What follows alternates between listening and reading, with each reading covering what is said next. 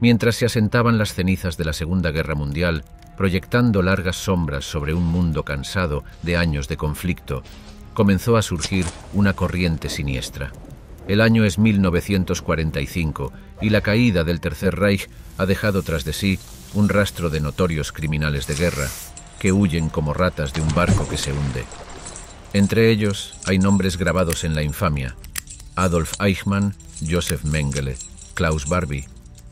Hombres responsables de atrocidades indescriptibles, ahora desesperados por evadir la justicia que les llama.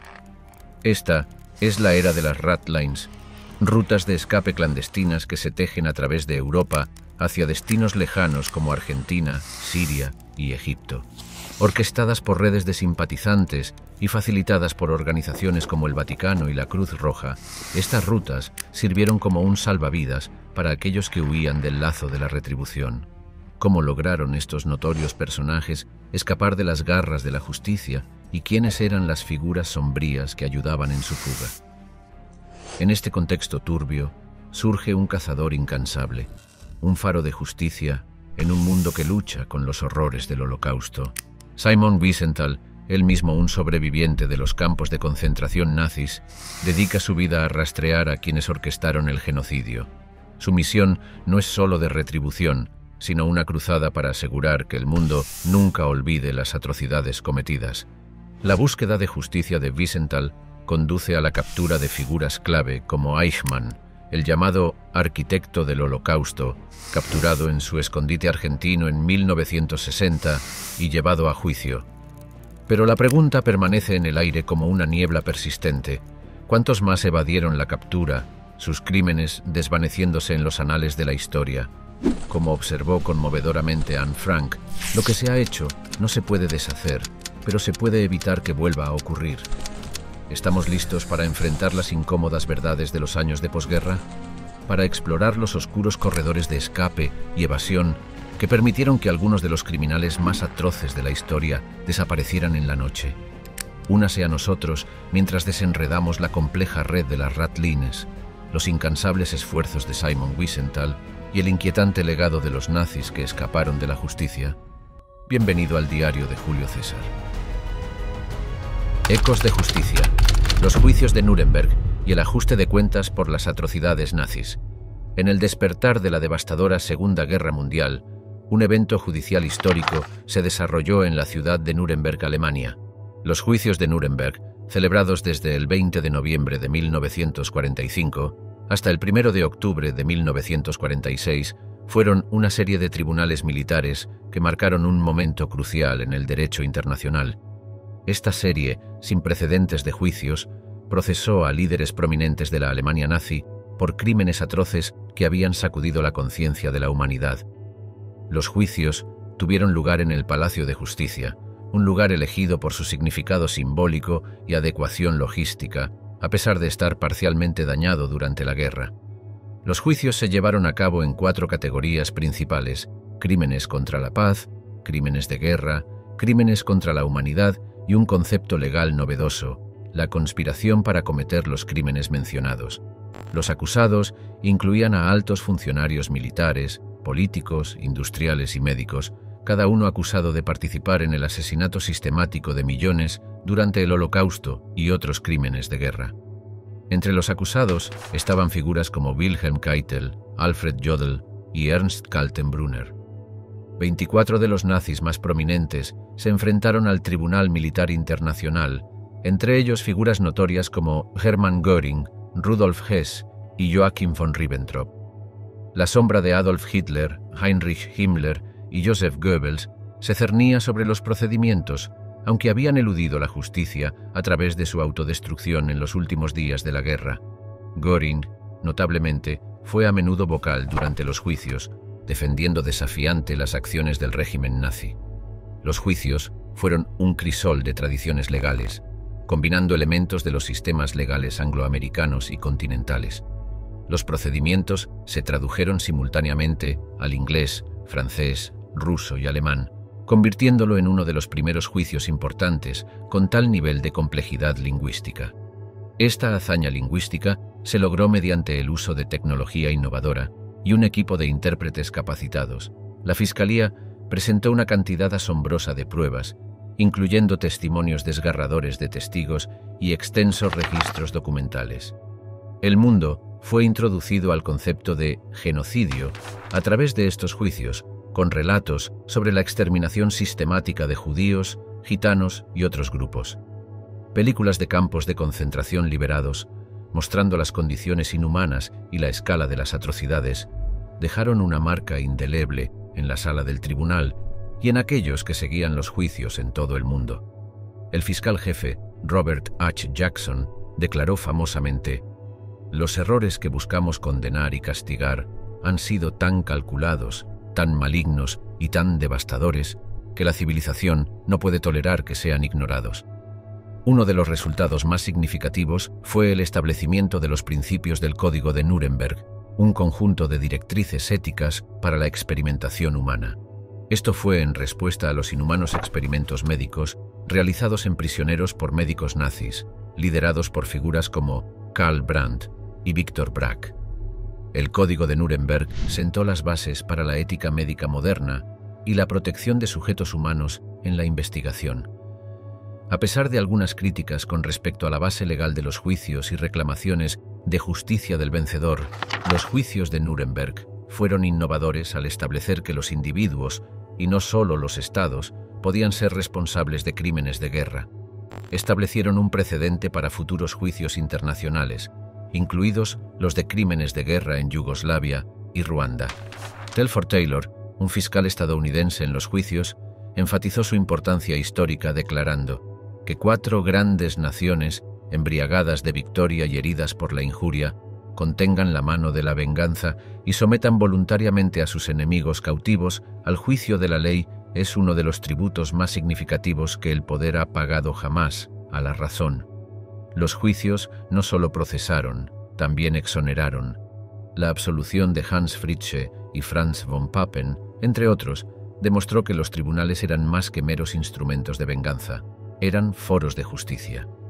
Este aspecto de los juicios fue vital para establecer su legitimidad y adhesión a los principios de ley y equidad. Como el juez Jackson expresó conmovedoramente, el registro en el que juzgamos a estos acusados es el registro en el que la historia nos juzgará mañana. Las sombras de ayer, desentrañando la red Odessa y las Ratlins. Tras la Segunda Guerra Mundial, Mientras el mundo lidiaba con las revelaciones del holocausto y la devastación de la guerra, una red clandestina estaba activa, ayudando en la fuga de criminales de guerra nazis. Esta operación encubierta, conocida como la Red Odessa y las Ratlines, era un complejo entramado de rutas y contactos que facilitaban la huida de nazis de Europa a Sudamérica y más allá.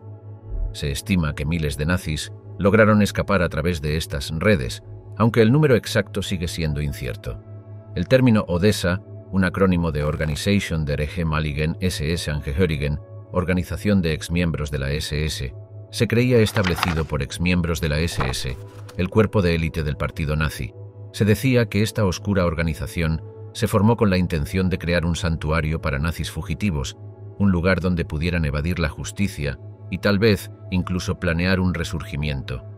La fecha exacta de fundación de Odessa es desconocida, pero se cree que estuvo operativa para 1946. Simultáneamente, las Ratlines, una red de rutas de escape, se extendían como una telaraña por Europa, conduciendo a refugios seguros en países como Argentina, Brasil y Chile.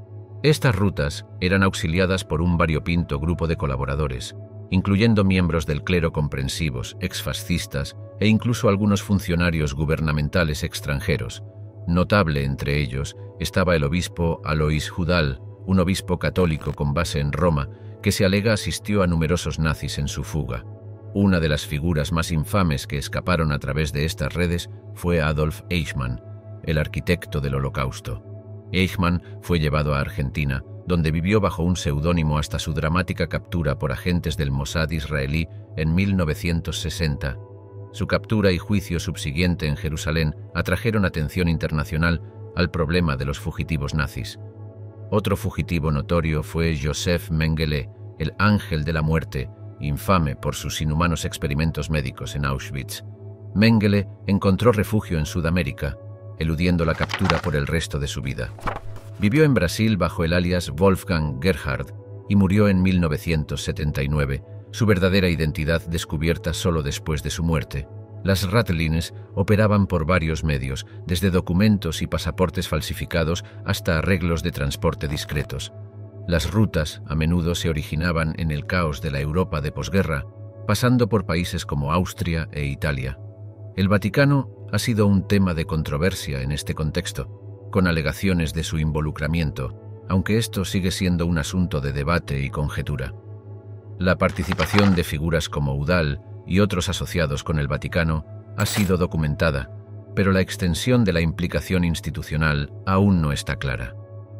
El destino más popular para estos fugitivos fue Argentina, bajo la presidencia de Juan Perón, quien, impulsado por una mezcla de razones pragmáticas e ideológicas, acogió a muchos exnazis.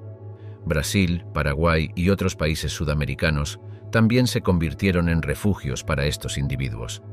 El régimen de Perón, simpatizante de las ideologías fascistas, proporcionó un refugio ideal para los nazis que buscaban reconstruir sus vidas lejos de Europa. Las Ratlins y la Red Odessa no solo facilitaron la fuga de criminales de guerra, sino que también resaltaron las complejas realidades geopolíticas del mundo de posguerra. El inicio de la Guerra Fría vio a exnazis siendo cortejados por Occidente y Oriente por su inteligencia y experiencia, complicando aún más los esfuerzos para llevarlos ante la justicia. Este maniobrar geopolítico a veces tomaba precedencia sobre la búsqueda de justicia por crímenes de guerra, el impacto de estas redes se extiende más allá de lo histórico y hacia el ámbito cultural. Han inspirado numerosos libros, películas y teorías de conspiración, subrayando la fascinación y horror duraderos con este oscuro capítulo de la historia.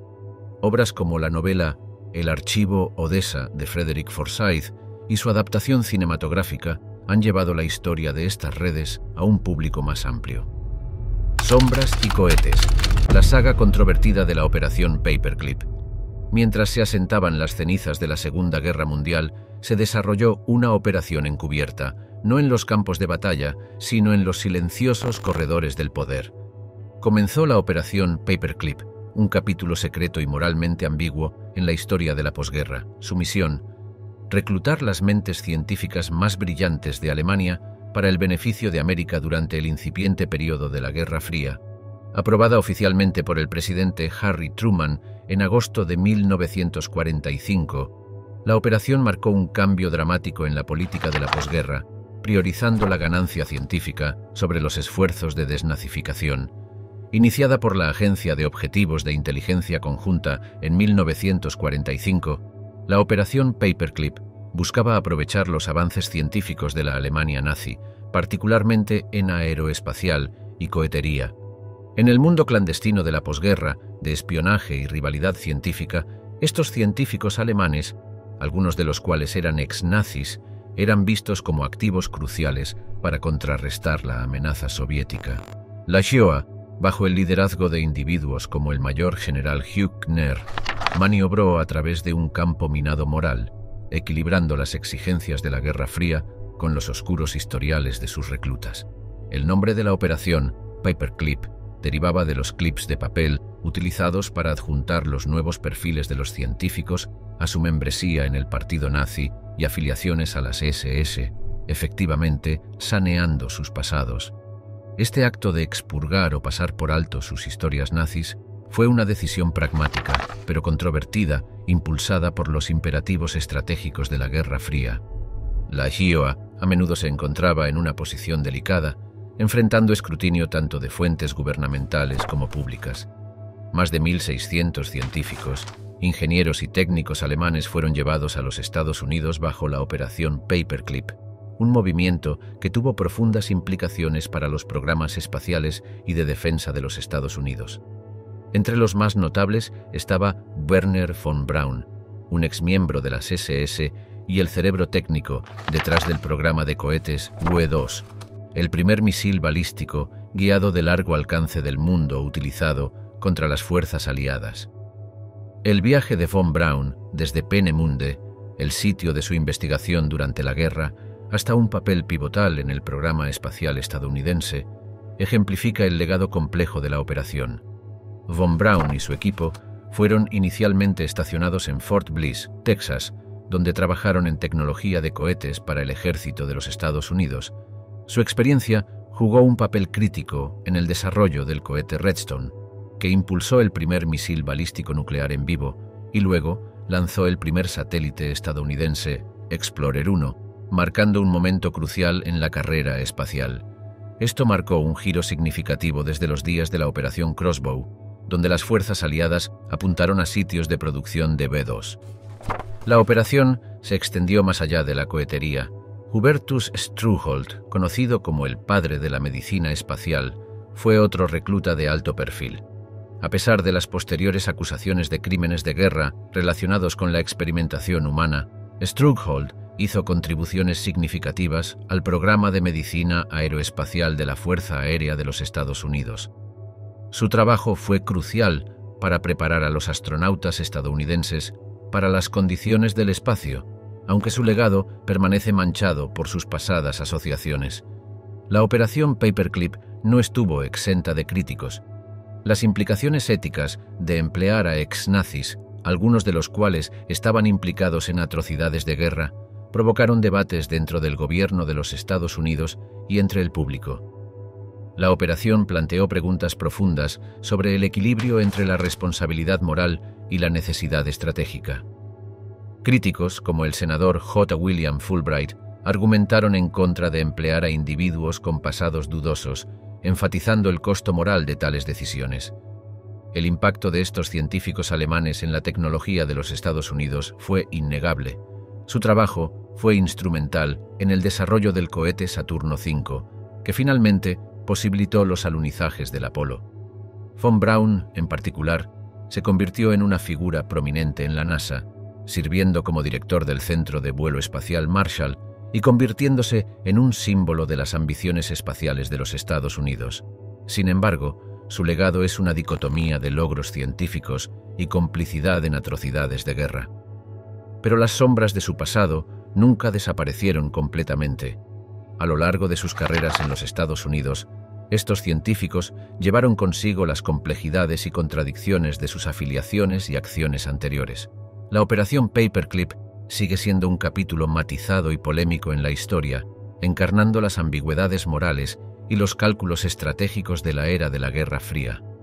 La operación, envuelta en secreto y controversia moral, continúa provocando debate y reflexión sobre el precio del avance tecnológico y científico. Como comentó el historiador Clarence Lasby, la operación Paperclip fue un extraño matrimonio de conveniencia entre el gobierno estadounidense y un grupo de expertos alemanes en cohetes en el que ambas partes se utilizaron mutuamente para su mejor ventaja.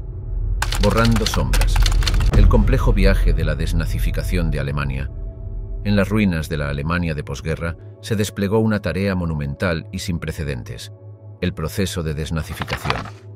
Este ambicioso programa, lanzado en 1945, tenía como objetivo purgar la sociedad, cultura, prensa, economía, judicatura y política alemanas de cualquier remanente de la ideología del Partido Nacional Socialista.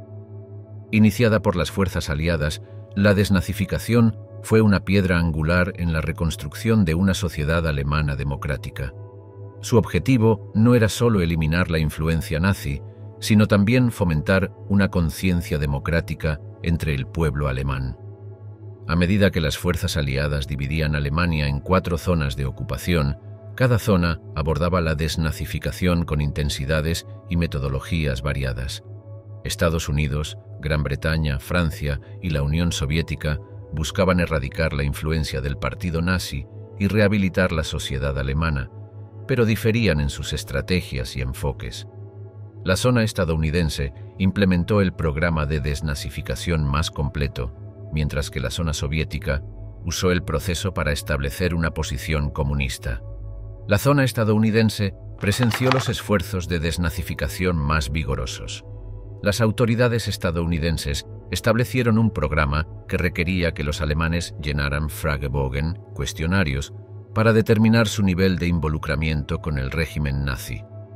Más de 13 millones de alemanes pasaron por este proceso de selección creando una tarea administrativa masiva. Sin embargo, Este método fue criticado por ser tanto demasiado burocrático como superficial, a menudo fallando en discernir verdaderos simpatizantes nazis de simples afiliados por conveniencia. La zona británica se centró más en reconstruir la sociedad civil y menos en medidas punitivas, lo que resultó en un proceso de desnazificación menos riguroso.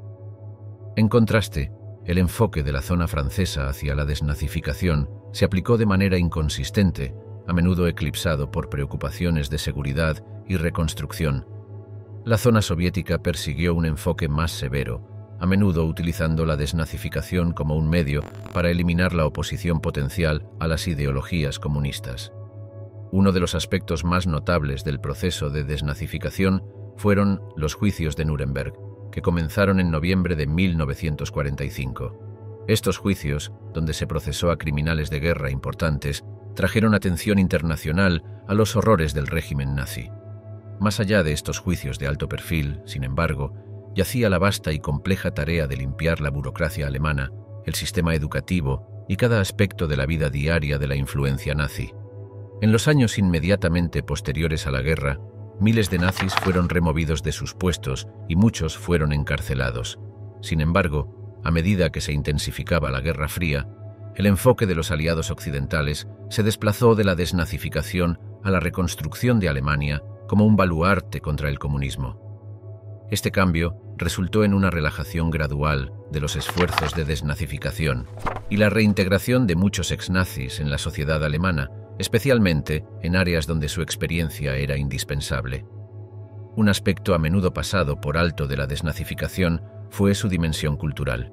Los aliados prohibieron libros, películas, música y símbolos nazis, intentando erradicar la huella cultural del régimen.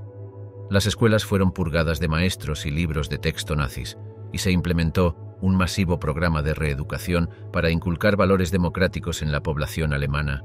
Estados Unidos incluso patrocinó películas como The Hitler Gang, 1944, y Our Job in Germany, 1945, para educar a los alemanes sobre los peligros del nazismo. A pesar de estos esfuerzos, el proceso tuvo sus deficiencias. Muchos ex-nazis lograron evadir la justicia ocultando sus pasados o beneficiándose de los cambios de prioridades de los aliados. La pregunta de cuán profundamente el nazismo había penetrado en la sociedad alemana siguió siendo un tema de debate, con algunos argumentando que el proceso no alcanzó las raíces sociales más profundas de la ideología nazi. El legado de la desnazificación es complejo. Por un lado, fue un paso crucial en el desmantelamiento de las estructuras totalitarias del régimen nazi y en la sentar las bases para las instituciones democráticas de la República Federal de Alemania. Por otro lado, sus inconsistencias y eventual dilución dejaron a muchos alemanes con la sensación de que no se había hecho justicia completamente. Como observó el historiador James F. Tent, la desnazificación fue una respuesta necesaria a los crímenes del Tercer Reich, pero su ejecución a menudo fue defectuosa e incompleta. Entre misericordia y complicidad, el papel controvertido del Vaticano y la Cruz Roja en las huidas nazis. En el laberinto de consecuencias de la Segunda Guerra Mundial, en medio del caos y el alivio de la paz, se desarrolló una narrativa sombría que involucraba a dos de las instituciones más respetadas del mundo, el Vaticano y la Cruz Roja Internacional. Sus supuestos roles en ayudar a criminales de guerra nazis a evadir la justicia han sido objeto de intensa investigación histórica y debate moral. El fin de la guerra vio a muchos funcionarios nazis de alto rango y colaboradores intentando desesperadamente escapar del cerco de los aliados. Fue durante este periodo tumultuoso que ciertos canales dentro del Vaticano y la Cruz Roja supuestamente se convirtieron en parte de lo que más tarde se conocería como las Ratlins, rutas de escape encubiertas para nazis. Los registros indican que hasta 8.000 miembros de las SS y otros nazis escaparon a través de estas ratlines. El Vaticano, una entidad soberana en el corazón de Roma, estaba en una posición única durante este periodo. Aunque oficialmente neutral durante la guerra, sus políticas y actitudes posteriores a la guerra hacia los nazis fugitivos han sido motivo de controversia. Algunos historiadores sugieren que ciertos miembros dentro de la jerarquía del Vaticano simpatizaban con la postura anticomunista de muchos nazis, y motivados por esto y el caos de la Europa de la posguerra, facilitaron su escape. Uno de los casos más notorios vinculados a las Ratlins del Vaticano fue el de Franz Stangl, comandante del campo de exterminio de Treblinka. Reportadamente recibió ayuda de un obispo católico romano para huir a Siria y luego a Brasil. De manera similar, el obispo Alois Hudal, un reconocido simpatizante nazi, fue citado a menudo como una figura clave en la asistencia a fugitivos nazis, aunque el alcance de su participación y la postura oficial del Vaticano siguen siendo temas debatidos. Udal mismo una vez dijo, Doy gracias a Dios que Él me permitió visitar las prisiones y llevar consuelo a muchos reclusos. Por otro lado, la Cruz Roja Internacional, conocida por sus esfuerzos humanitarios, se encontró envuelta en una controversia de diferente naturaleza. En el caos posterior a la guerra, la Cruz Roja emitió documentos de viaje e identidad a miles de refugiados. Se ha alegado que este sistema fue explotado por nazis, quienes lograron obtener estos documentos bajo identidades falsas, facilitando su escape, particularmente a Sudamérica. Entre los beneficiarios de dichos documentos estuvo Adolf Eichmann, quien obtuvo un pasaporte de la Cruz Roja bajo el nombre de Ricardo Clement y huyó a Argentina. La facilidad con la que Eichmann y otros como él lograron explotar los mecanismos humanitarios de la Cruz Roja destacó los desafíos que enfrentan las organizaciones internacionales en tiempos de agitación. Tanto el Vaticano como la Cruz Roja, en sus respectivas capacidades, enfrentaron inmensos desafíos en el período de la posguerra. El Vaticano estaba navegando el complejo paisaje político de una Europa devastada por la guerra, mientras que la Cruz Roja se enfrentaba a una crisis de refugiados sin precedentes. Sin embargo, su supuesta participación en la asistencia a fugitivos nazis planteó serias preguntas éticas y morales. El debate sobre sus roles se complica aún más por la falta de pruebas concretas en muchos casos. La naturaleza secreta de las ratlines y el paso del tiempo han dificultado determinar la plena implicación de estas instituciones. Sin embargo, las acusaciones y sospechas han persistido, proyectando una larga sombra sobre su historia posterior a la guerra. Si bien el Vaticano y la Cruz Roja han tomado medidas desde entonces para abordar estas alegaciones y han estado involucrados en numerosos esfuerzos humanitarios en todo el mundo, la narrativa de su posible participación en la ayuda a las huidas nazis sigue siendo un recordatorio conmovedor de los complejos dilemas morales que enfrentan las instituciones en tiempos de crisis. En las sombras de la retribución, la incansable cruzada de Simon Wiesenthal. En el paisaje posterior a la Segunda Guerra Mundial, surgió una figura singular como símbolo de justicia y persecución implacable, Simon Wiesenthal, un hombre cuyo nombre se convirtió en sinónimo de la búsqueda de criminales de guerra nazis. Su trayectoria, de sobreviviente del holocausto al cazador de nazis más renombrado del mundo, es una historia de resiliencia, tenacidad y un compromiso inquebrantable con la justicia.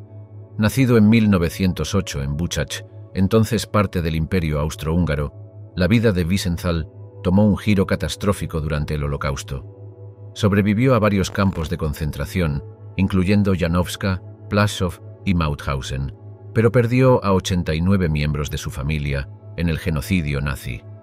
Esta tragedia personal alimentó su misión posterior a la guerra, rastrear y llevar ante la justicia a los responsables del holocausto. La búsqueda de Wiesenthal comenzó en las ruinas de Mauthausen. Con la guerra apenas terminada, compiló una lista de oficiales de las SS y colaboradores, dando inicio a su misión de toda la vida. Su enfoque combinaba una investigación meticulosa, una extensa red de informantes y una increíble habilidad para conectar piezas dispares de información. Uno de los logros más significativos de Wiesenthal fue ayudar en la captura de Adolf Eichmann, uno de los principales arquitectos del Holocausto. En 1953, Wiesenthal recibió información de que Eichmann estaba en Argentina. Su persecución implacable y el expediente que compiló fueron fundamentales en la captura eventual de Eichmann por agentes del Mossad israelí en 1960 y su posterior juicio y ejecución. Otro éxito notable fue la captura de Franz Stangl, comandante de los campos de exterminio de Treblinka y Sobibor.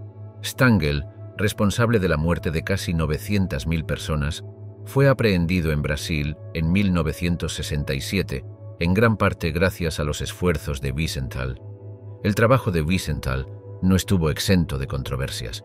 Su búsqueda unidireccional de justicia a veces lo puso en conflicto con gobiernos y otras organizaciones judías. Los críticos cuestionaron sus métodos y la precisión de algunas de sus afirmaciones. Sin embargo, su compromiso permaneció inquebrantable. Como famosamente dijo Wiesenthal, para mí no hay prescripción para el asesinato. Mi trabajo es una advertencia para los asesinos del mañana de que nunca descansarán. Operando desde una pequeña oficina desordenada en Viena, el nombre de Wiesenthal se convirtió en un faro de esperanza para los sobrevivientes del Holocausto que buscaban justicia. Su centro, Simon Wiesenthal, establecido en 1977 en Los Ángeles, continúa su legado, promoviendo los derechos humanos y la educación sobre el Holocausto en todo el mundo. Para el momento de su muerte, en 2005, Wiesenthal había estado involucrado en la identificación y captura de más de 1.100 criminales de guerra nazis. El trabajo de su vida fue un testimonio del poder de la resolución de un individuo frente a una injusticia monumental. Más allá de los números y los casos de alto perfil, el legado de Wiesenthal también se encuentra en las historias menos conocidas. A menudo hablaba del deber moral de recordar a las víctimas y de la importancia de la justicia sobre la venganza. Su persecución no era solo sobre retribución, era una búsqueda para defender la santidad de la vida humana y la dignidad. Los ecos de un pasado oscuro, rastreando a los ex-nazis en las arenas políticas de la posguerra.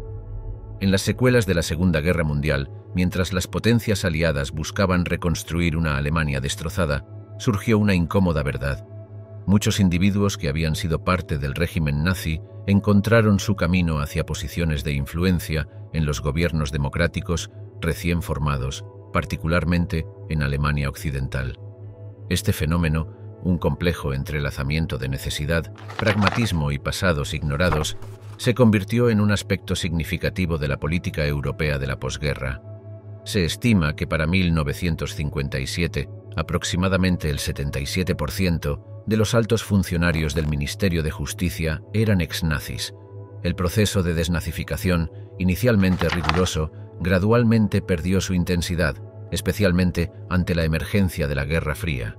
Los aliados occidentales, principalmente los Estados Unidos y Gran Bretaña, cambiaron su enfoque de castigar a los ex-nazis a establecer una Alemania occidental estable y próspera como un baluarte contra el comunismo. Este cambio de prioridades allanó el camino para que muchos ex-nazis se reintegraran a la vida civil e incluso ascendieran a posiciones de poder. A principios de los años 50, menos de 200 nazis habían sido encarcelados por crímenes de guerra. Un ejemplo notable fue Hans Globke, quien se desempeñó como jefe de gabinete del canciller de Alemania Occidental, Konrad Adenauer, de 1953 a 1963. Globke había jugado un papel significativo en la redacción de las leyes de Nuremberg, el marco legal que institucionalizó la discriminación racial en la Alemania nazi. A pesar de su pasado, Globke se convirtió en una figura clave en el gobierno de Alemania Occidental, influyendo en su dirección durante los años críticos de la Guerra Fría. Su influencia fue tal que Adenauer una vez comentó, Prefiero a mi Globke sobre tu general cualquier día. Otro ejemplo fue Kurt Georg Kissinger, quien se convirtió en canciller de Alemania Occidental en 1966. Kissinger había sido miembro del partido nazi y trabajó en el Ministerio de Asuntos Exteriores durante la guerra, su pasado se convirtió en un tema de debate público y protesta, particularmente durante los movimientos estudiantiles de los años 60. Esto culminó en el incidente infame de 1968, cuando Beate Klarsfeld lo abofeteó públicamente, llamándolo nazi. En el ámbito de la ciencia y la tecnología, los ex-nazis también encontraron roles en las nuevas estructuras gubernamentales. Werner von Braun, un oficial de las SS, y el cerebro detrás del programa de cohetes V2 fue llevado a los Estados Unidos como parte de la operación Paperclip y eventualmente se convirtió en una figura prominente en la NASA. Su historia ejemplifica cómo la experiencia de guerra a menudo se valoraba más que la responsabilidad moral en el contexto de la Guerra Fría. Von Braun una vez comentó, Sabíamos que habíamos creado un nuevo medio de guerra, y la pregunta de a qué nación, a qué nación victoriosa, estábamos dispuestos a confiar este fruto de nuestro esfuerzo, era una decisión moral más que cualquier otra cosa. La situación en Alemania Occidental fue reflejo de una tendencia más amplia en Europa, donde muchos ex-nazis lograron evitar el procesamiento y reintegrarse a la sociedad. Esta reintegración fue facilitada en parte por el caótico entorno de la posguerra, donde se perdieron o destruyeron registros, y la escala de la implicación en el régimen nazi hizo que un escrutinio exhaustivo fuera impracticable. Por ejemplo, en Austria, un informe de 1948 señaló que casi el 60% de los burócratas eran ex-nazis. La presencia de ex-nazis en los gobiernos de la posguerra no fue solo un problema político, sino también un dilema moral y ético.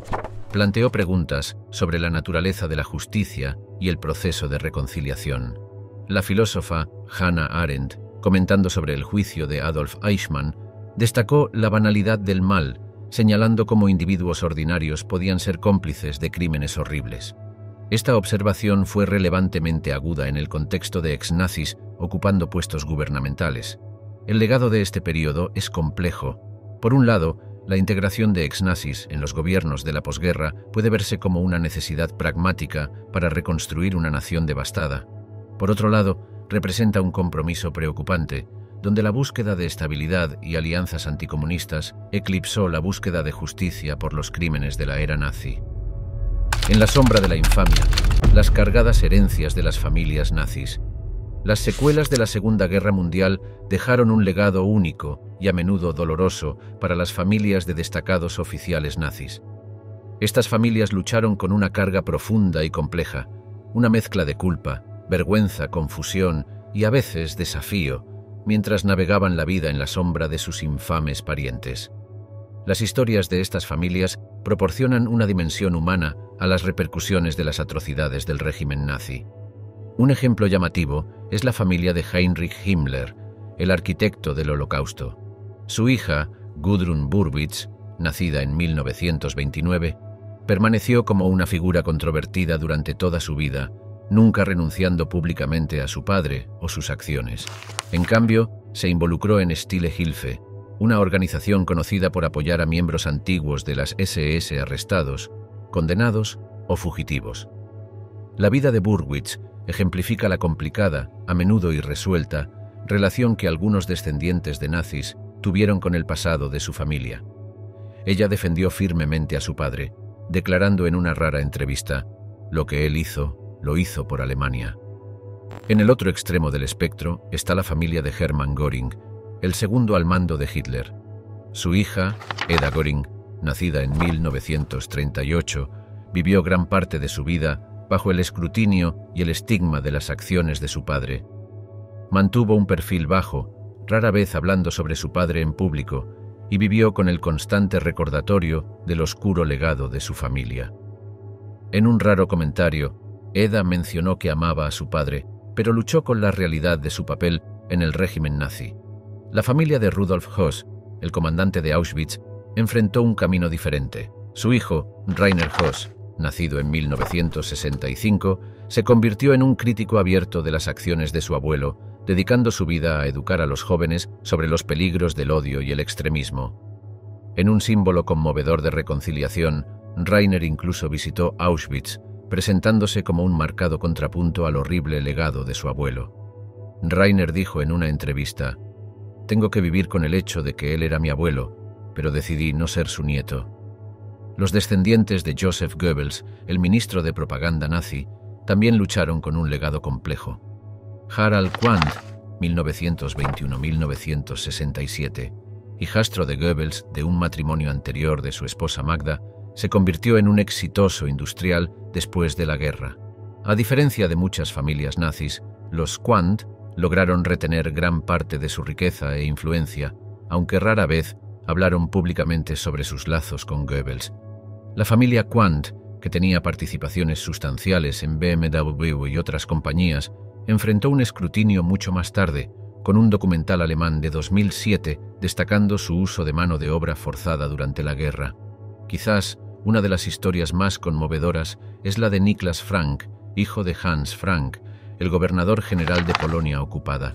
Niklas ha sido crítico sin tapujos de su padre, describiéndolo como un fanático lamentable de Hitler y ha pasado gran parte de su vida denunciando los crímenes de su padre y el régimen nazi. Escribió un libro titulado Der Vater, eine Abrechnung, El Padre, un ajuste de cuentas, donde confrontó directamente el legado de su padre. Las experiencias de estas familias variaron ampliamente, con algunas eligiendo enfrentar el pasado de frente, mientras que otras prefirieron vivir en su sombra, rara vez reconociendo la carga histórica que llevaban. Algunas, como Bettina Gorin, la sobrina nieta de Hermann Göring, optaron por distanciarse física y psicológicamente de su legado, con Bettina incluso sometiéndose a una esterilización, citando el deseo de no propagar la línea de sangre Göring.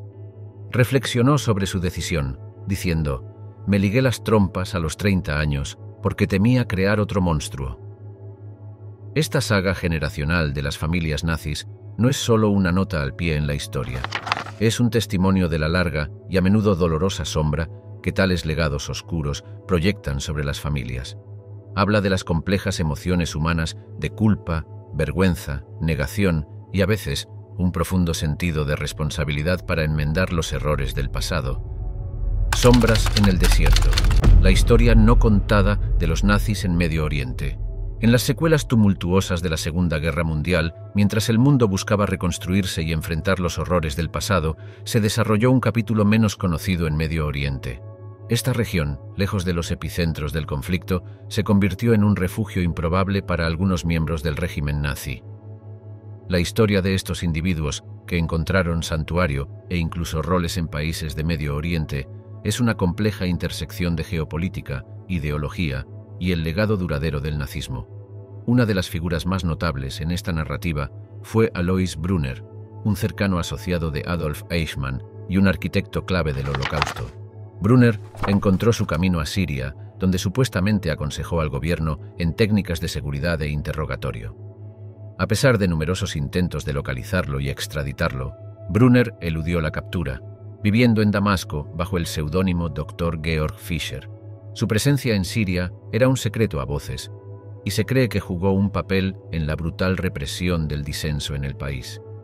La supervivencia de Brunner en Siria, a menudo rumoreada, pero nunca oficialmente confirmada, permaneció como una fuente de frustración para los cazadores de nazis, con el centro Simon Wiesenthal declarando que él era uno de los criminales de guerra nazis más importantes.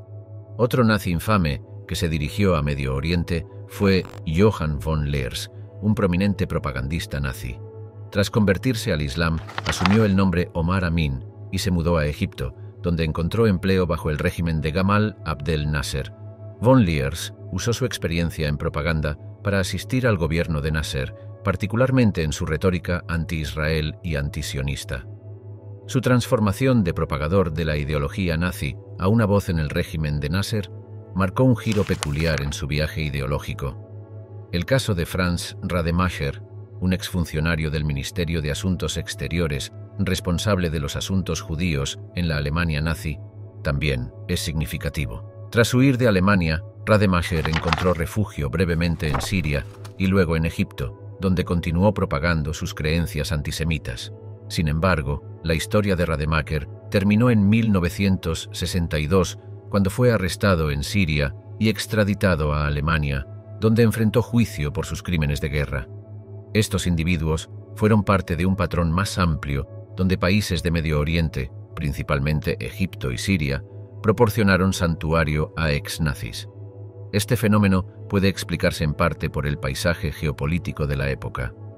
En los primeros años de la Guerra Fría, Medio Oriente era una región de importancia estratégica, y la experiencia de los ex-nazis en militar, inteligencia y propaganda era valiosa para gobiernos que buscaban fortalecer su poder y contrarrestar amenazas percibidas, particularmente de Israel y naciones alineadas con Occidente.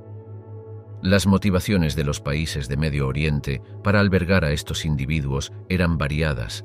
En algunos casos, fue impulsado por una hostilidad compartida hacia el sionismo e Israel. Para otros, fue la ventaja práctica de utilizar las habilidades y conocimientos de estos funcionarios y operativos experimentados. Egipto, por ejemplo, bajo Nasser, era conocido por emplear a varios ex-nazis en sus sectores militares y de inteligencia, aprovechando su experiencia en sus conflictos con Israel. La presencia de ex-nazis en Medio Oriente no estuvo exenta de controversia. Fue una fuente de tensión en las relaciones internacionales, particularmente con Israel y organizaciones judías que buscaban llevar a estos criminales de guerra ante la justicia. La renuencia o negativa de algunos gobiernos de Medio Oriente a extraditar a estos individuos fue citada a menudo como un punto de contención. Las historias de estos nazis en Medio Oriente también subrayan la naturaleza compleja y a menudo turbia de la justicia internacional. Mientras que algunos, como Eichmann, fueron eventualmente capturados y llevados a juicio, otros, como Brunner y von Leers, eludieron la justicia protegidos por la misma geopolítica que una vez los hizo poderosos. La búsqueda desigual de estos individuos reflejó la naturaleza intrincada y a menudo contradictoria de la geopolítica de la posguerra.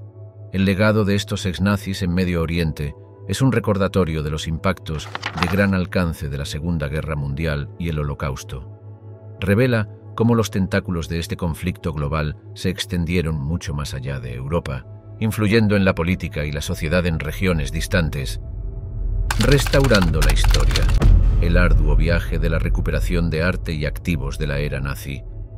En la sombra de las horribles atrocidades cometidas por los nazis se ha llevado a cabo un extenso y complejo esfuerzo durante décadas, la recuperación y restitución de arte y activos saqueados durante la Segunda Guerra Mundial. Esta monumental tarea de devolver los objetos robados a sus legítimos dueños o sus descendientes no es solo un asunto de significado legal y financiero, sino también un paso crucial en la curación de las profundas heridas infligidas por el régimen nazi. Se estima que durante este periodo fueron robadas más de 600.000 pinturas, y los esfuerzos para recuperarlas continúan hasta el día de hoy. La escala del saqueo nazi fue impresionante. Se estima que los nazis saquearon aproximadamente el 20% del arte de Europa durante la guerra, incluyendo pinturas, esculturas y otros valiosos artefactos culturales.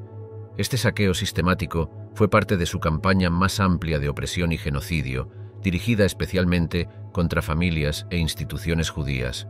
Por ejemplo, la familia Rothschild perdió una parte significativa de su extensa colección de arte debido al saqueo nazi.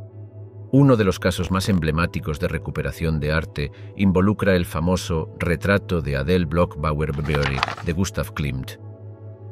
La pintura fue robada de la familia Bloch-Bauer por los nazis en 1941. No fue hasta 2006, después de una larga batalla legal, que María Altmann, la sobrina de Adele Bloch-Bauer, logró recuperar esta obra maestra, que posteriormente se vendió por 135 millones de dólares. La lucha de Altman fue dramatizada más tarde en la película de 2015 La Dama de Oro, atrayendo una mayor atención pública hacia el tema de la restitución del arte. Su caso fue fundamental para abrir puertas a muchas reclamaciones similares. El viaje de la recuperación está plagado de desafíos legales y burocráticos. Muchas obras de arte encontraron su camino en museos y colecciones privadas, a menudo con poca documentación para rastrear sus orígenes.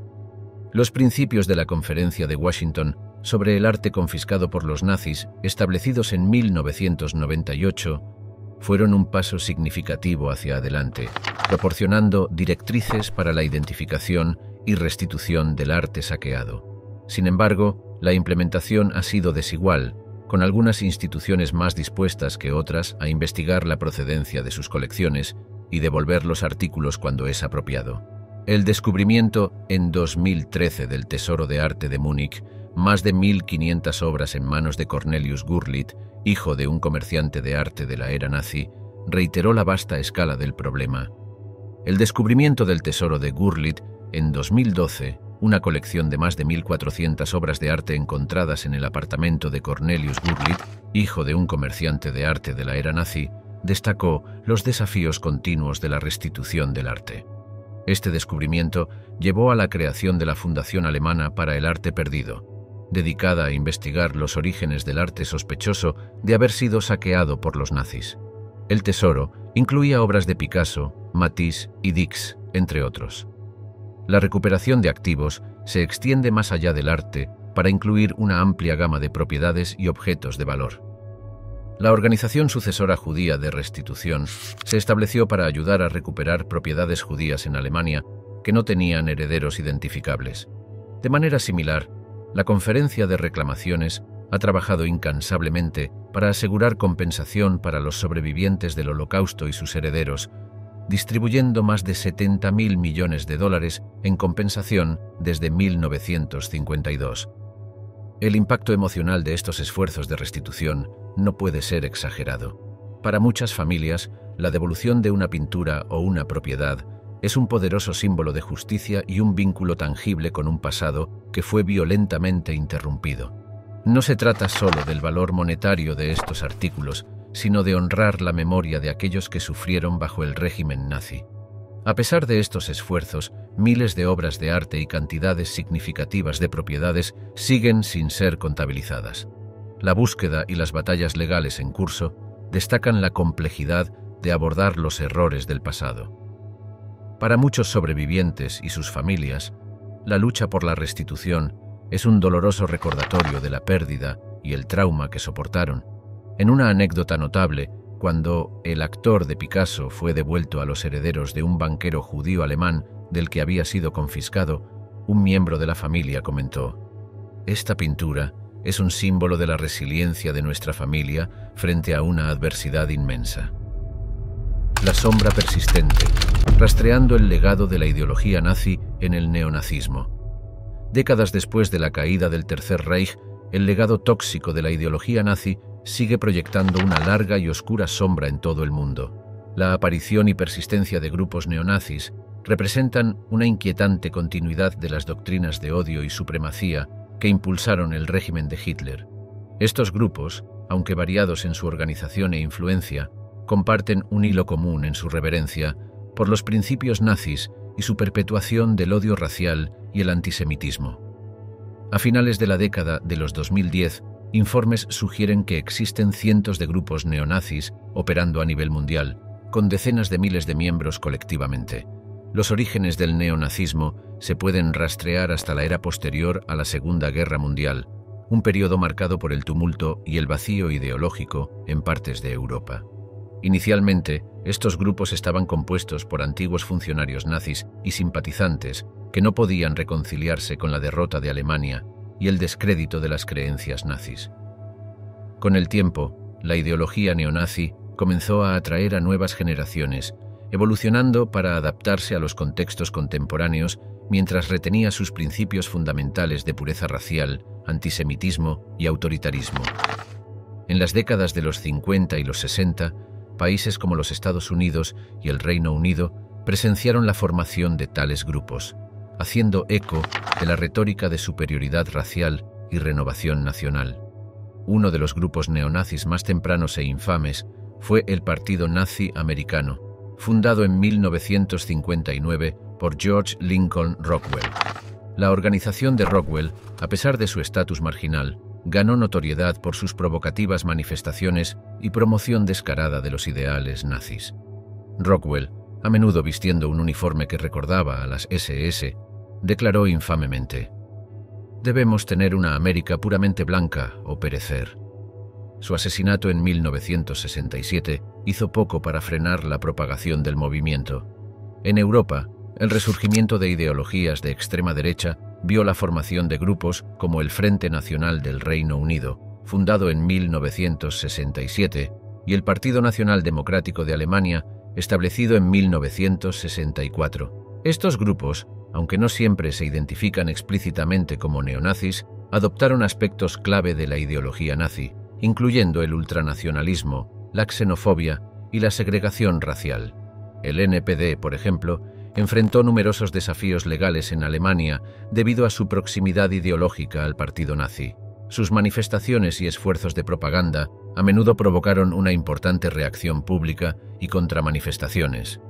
La caída de la Unión Soviética en 1991 y la consiguiente agitación social y económica en Europa del Este proporcionaron un terreno fértil para el resurgimiento de las ideologías neonazis.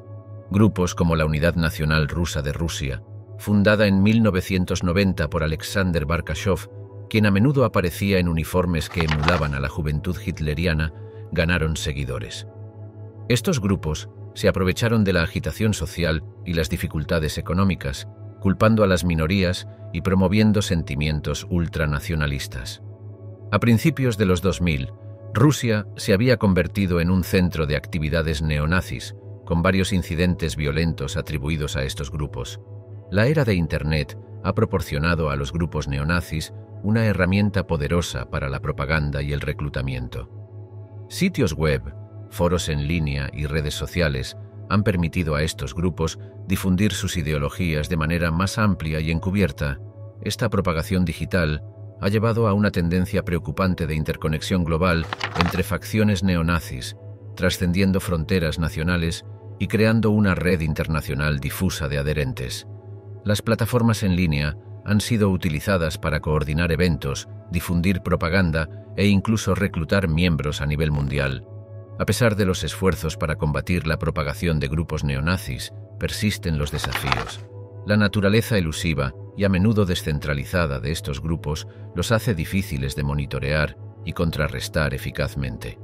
Además, los problemas sociales y políticos más amplios, como la disparidad económica y la inmigración, que a menudo alimentan los sentimientos de extrema derecha, añaden capas de complejidad a la resolución de este problema.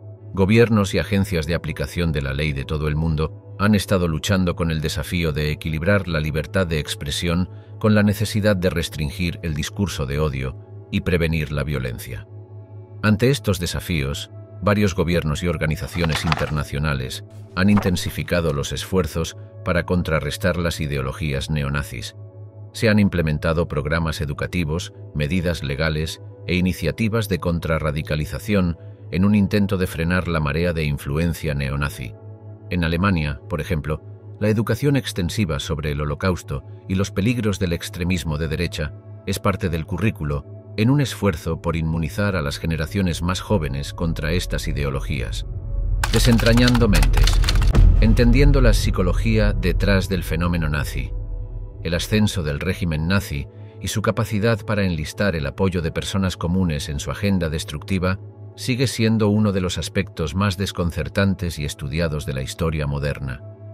Investigaciones psicológicas y sociológicas han profundizado en la mentalidad de aquellos que formaron parte de este régimen, buscando comprender cómo individuos aparentemente promedio podrían convertirse en agentes de uno de los capítulos más brutales de la historia.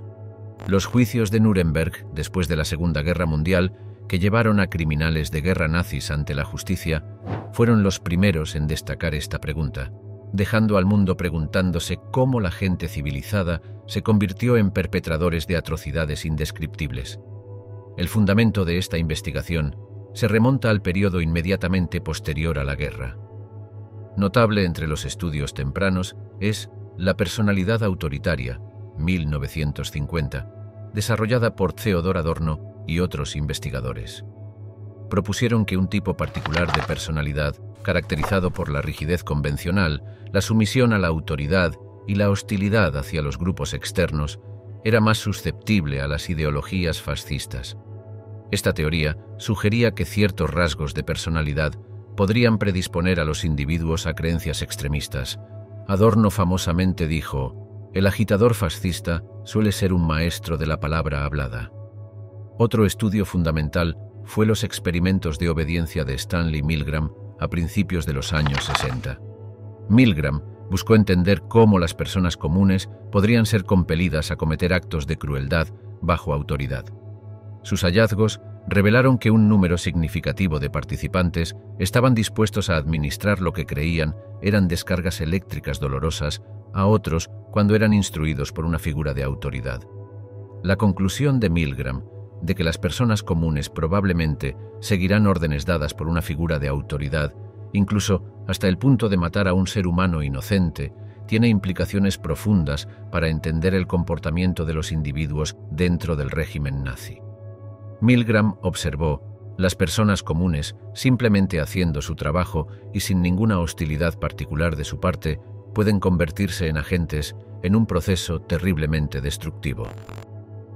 En el ámbito de la sociología, el trabajo de Hannah Arendt particularmente su concepto de la banalidad del mal, como exploró en su libro Eichmann en Jerusalén, un informe sobre la banalidad del mal, 1963, trajo una nueva perspectiva.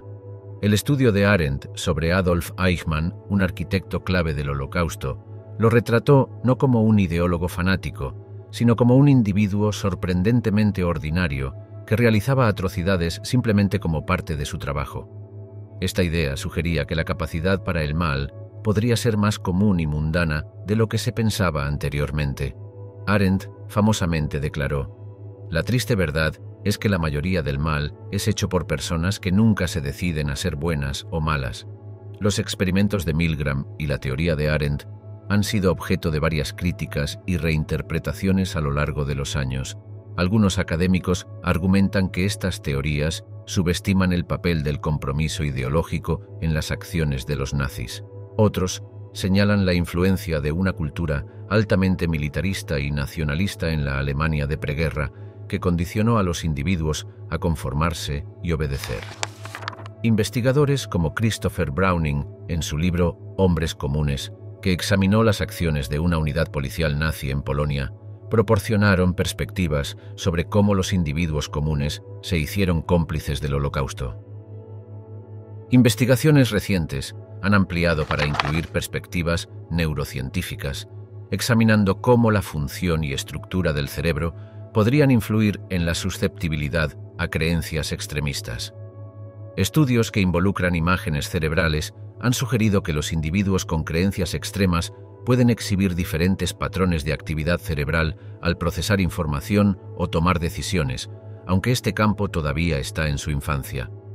Estos estudios buscan entender la base neurológica detrás de la susceptibilidad a ideologías extremistas. La dinámica de grupo también juega un papel crucial en la comprensión del fenómeno nazi.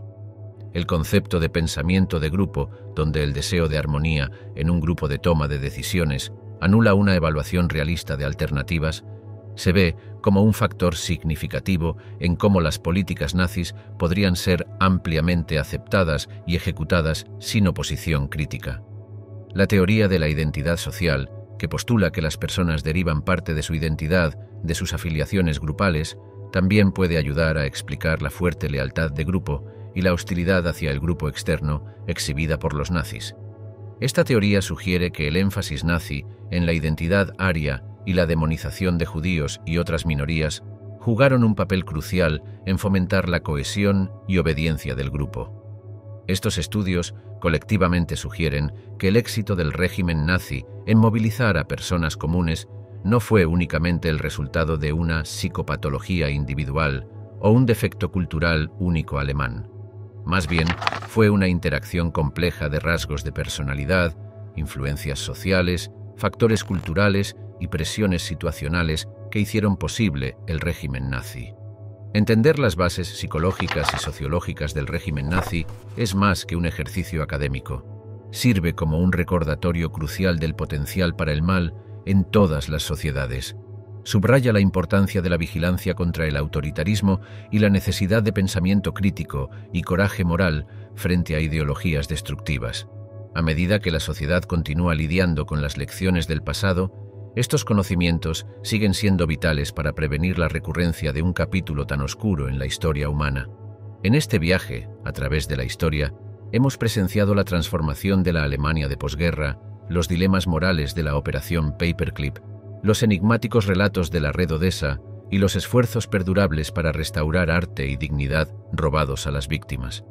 Cada hilo de esta narrativa, tejido en el tejido del tiempo, sirve como testimonio de la resiliencia de la humanidad y su incesante búsqueda de justicia. Al reflexionar sobre estos eventos, recordamos las palabras conmovedoras de Elie Wiesel, un sobreviviente del Holocausto y laureado con el Premio Nobel, quien dijo, por los muertos y los vivos, debemos dar testimonio. Este viaje a través del destino de los nazis después de la Segunda Guerra Mundial subraya la importancia de recordar y dar testimonio de la historia, no solo para honrar a quienes sufrieron, sino también para asegurar que tal oscuridad no encuentre su camino de regreso a nuestro mundo.